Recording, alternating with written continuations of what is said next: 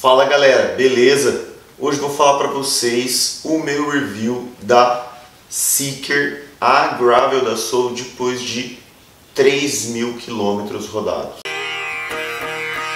Bom pessoal, a Soul mandou para mim a bike Gravel deles no ano passado, já vai fazer quase um ano que eu estou usando essa bicicleta e é, eu rodei aproximadamente 3 mil quilômetros com ela, rodei um pouquinho mais já, né? É, aí no canal tem vários vídeos, vídeo de unboxing, vídeo de primeiras impressões, vídeo falando sobre o uso dela com as rodas 650B e depois de 3 mil quilômetros rodados, dá para eu ter uma ideia, dá para falar para vocês o que eu gostei e o que eu não gostei da bicicleta. É, o que eu quero deixar bem claro aqui nesse review é que a Soul me deu total liberdade para falar o que eu achei da bicicleta. Então aqui não é propaganda da bike, aqui é o que eu achei de verdade, tá? Então, vamos lá. Primeira coisa, eu vou falar um pouquinho sobre o que eu mudei na bicicleta para atender as minhas necessidades, porque é, sempre a gente vai ter alguma coisa que vai mudar. Uma coisa que eu mudei, a primeira coisa que eu mudei foi o selim, né? O selim que vem nela tá até aqui, ó.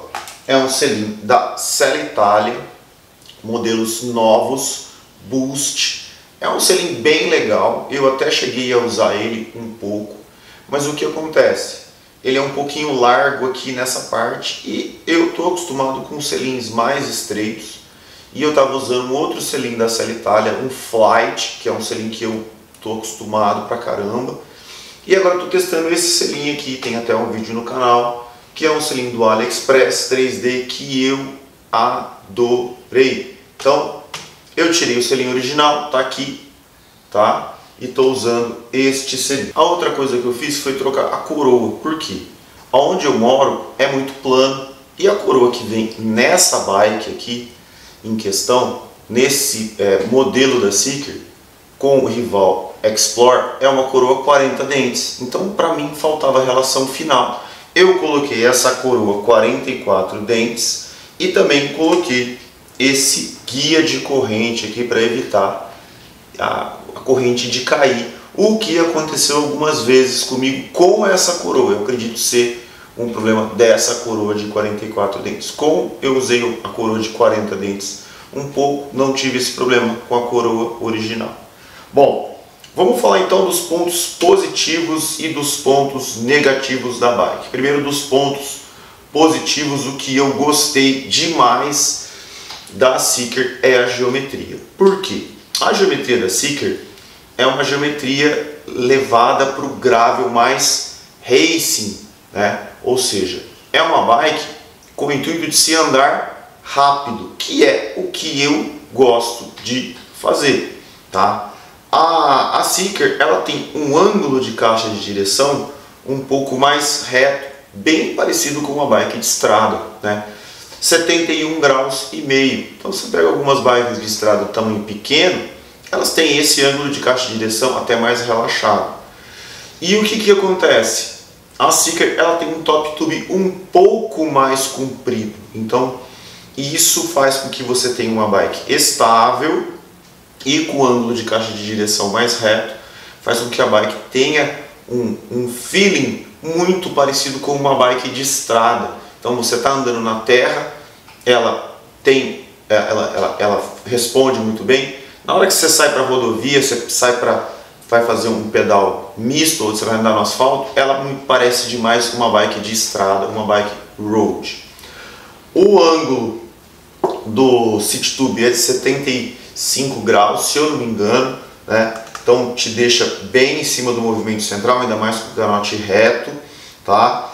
E ela tem um chainstay não muito comprido, então faz com que a bike tenha umas reações bem legais. Ela é bem equilibrada, ou seja, é uma bike que eu gostei demais. Para subir, ela sobe muito bem, ela é estável nas descidas, e ela é uma bike que anda muito bem no plano, então assim, não é uma bike que se destaca em uma coisa só. Ela é, ela é excelente para subir, é, ela é excelente para descer. Não, é uma bike que é tem uma geometria que faz com que ela seja completa.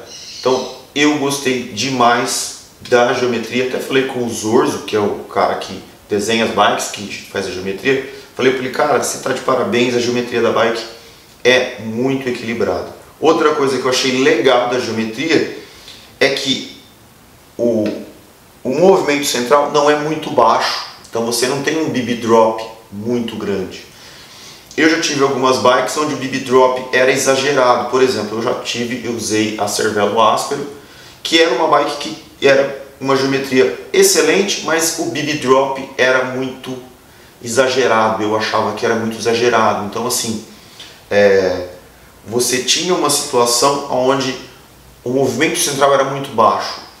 Eu não gosto de bikes com movimento central muito baixo, né? Então esse movimento central, esse bib drop não tão absurdo, faz com que a bike seja uma bike onde você fique em cima dela, não enfiado dentro dela. Então a geometria para mim eu achei praticamente perfeita, não tenho que reclamar da geometria. Né? Eu peguei uma bike tamanho XS, poderia ter pego uma S, mas peguei uma XS para testar com uma mesa um pouco maior. Tem essa opção, né? e o que é uma coisa bem legal. Então, isso aí eu gostei demais da geometria. Segundo ponto que eu gostei demais da bike, a questão da aerodinâmica. Então aí vai entrar desde o guidão, que é o ponto mais legal da bike, esse guidão integrado com os cabos todos internos, né? Esse esse drop curto aqui, esse reach curto. Então esse guidão aqui é absurdamente confortável, muito legal, demais para se usar, eu gostei demais. E essa questão da aerodinâmica também vem nessa situação aqui, olha o tamanho daqui que a gente tem da caixa de direção. Então, essa questão aérea, todos os cabos internos, né?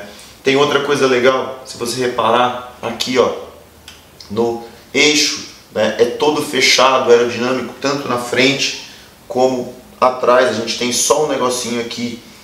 A questão também da gancheira DH. Então, as linhas do quadro são bem legais, bem aerodinâmicas. Essa questão do cabeamento interno, ela é uma vantagem em certo ponto e uma desvantagem em certo ponto. Vantagem na questão aerodinâmica e na estética. Todos os cabos são internos. São somente os cabos de freio, porque essa bike tem um grupo eletrônico wireless da SRAM, mas a gente vai ter o que?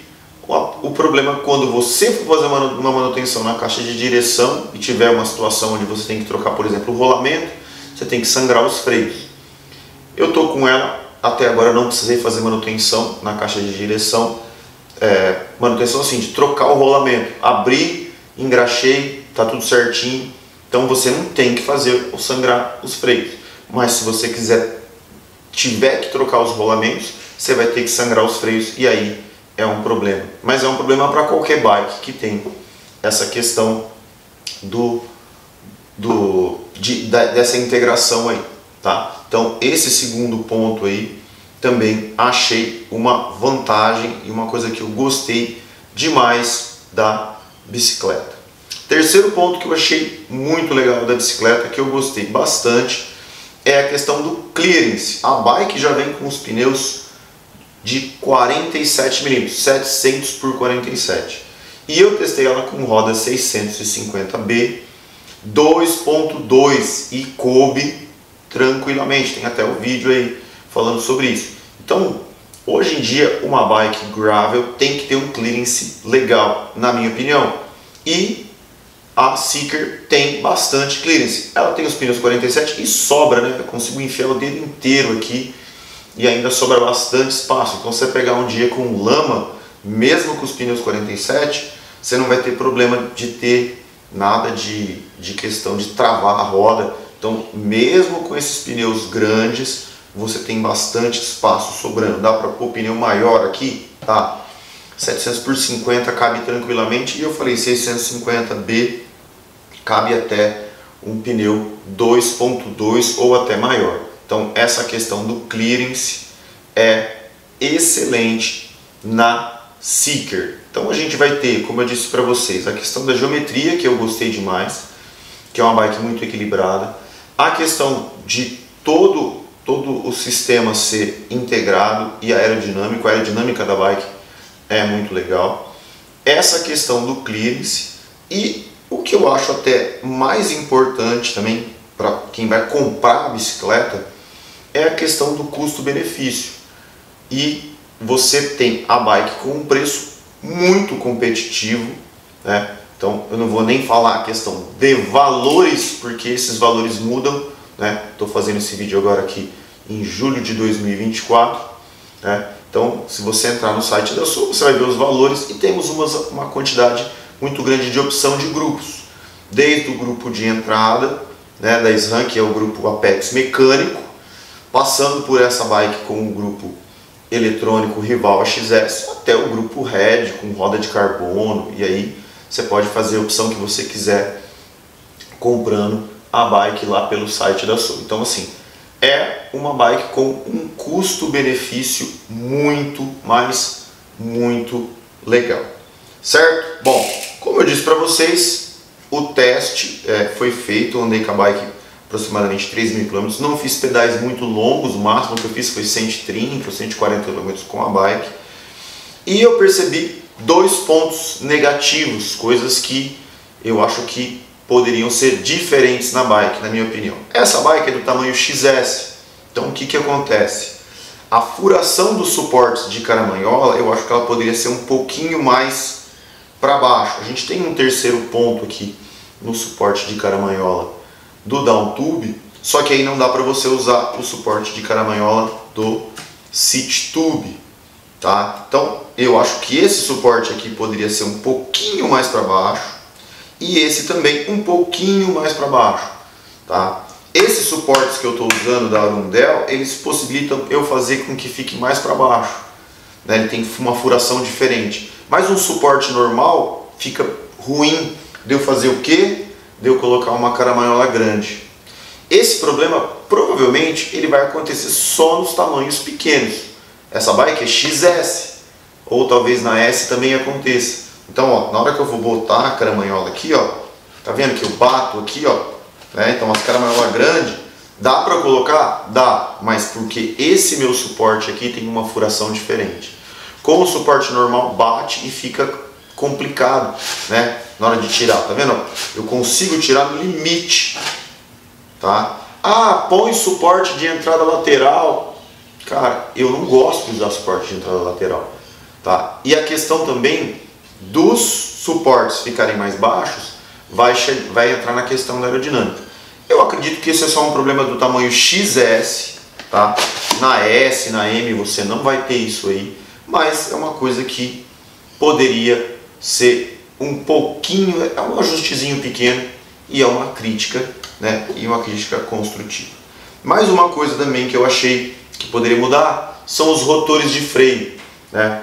O rotor de freio dianteiro e traseiro é de 160 milímetros e não existe a possibilidade de eu colocar um rotor menor nem na traseira. Então, comumente as bikes elas vêm com a opção de você colocar um rotor menor. Eu não vejo necessidade de usar um rotor 160 na traseira, por exemplo. E na frente é a mesma coisa, então eu não consigo colocar um rotor menor, tá? Ah, o rotor 160 é melhor, tem mais poder de frenagem, tal, beleza, tá? Mas se eu quiser pôr um rotor menor, eu não vou conseguir. Então, para mim, isso é uma coisa que poderia ser revista, principalmente no traseiro. O dianteiro pode até ficar 160 mas o traseiro colocar um rotorzinho menor seria legal. E o que eu acho que poderia melhorar na bike, porque a bike é muito legal, é muito equilibrada, eu gostei demais da bicicleta, mas o que poderia ter na bike, na minha opinião? Poderia ter aquele sistema né, que a gente tem em algumas bikes de algumas marcas, onde você tem embaixo daqui do down tube do suporte de caramanhola uma porta aonde você abre e você coloca aquele porta-treco, né? Então eu vou numa competição longa lá, para não ter que levar uma bolsinha, eu coloco tudo aqui. Então eu coloco lá as espátulas, CO2, câmara de ar reserva, tudo dentro da bicicleta. Isso é uma coisa bem fácil de fazer, então assim, seria bem interessante se tivesse uma portinha com essa, isso aí na bicicleta, seria muito legal, né? Eu não acho legal essa, essa questão de colocar furação para bagageiro, né? A proposta da bike é uma bike race, então isso eu acho que não tem necessidade nenhuma. Mas essa portinha colocando as coisas dentro do quadro protegidas, eu acho que seria uma sacada muito legal e que só adicionaria é, uma coisa mais interessante à bicicleta. Talvez o pessoal da Soul me ouça e faça isso numa próxima versão, numa evolução da Seeker. No mais, eu gostei demais da bicicleta, vai dar dor no coração devolver o pessoal da Soul, mas valeu demais aí por é, passar essa bicicleta para eu testar, para eu usar aí durante um ano. Gostaria de ter pedalado até mais com ela, infelizmente por problemas de saúde aí não consegui pedalar tanto, mas eu acho que com pouquinho mais de 3 mil quilômetros aí dá para eu saber, dá para eu falar para vocês, dá para eu compartilhar com vocês o que eu achei da bicicleta e como eu disse para vocês, tem pontos positivos, muito mais e alguns pontos negativos, alguns detalhezinhos que eu não gostei da bike e estou falando aí para vocês. Beleza, galera? Obrigado a todos aí por assistir o vídeo. Deixa aqui nos comentários se você tem uma Seeker, se você comprou, o que, que você achou. E é isso aí. Até o próximo vídeo então, galera. Abraço!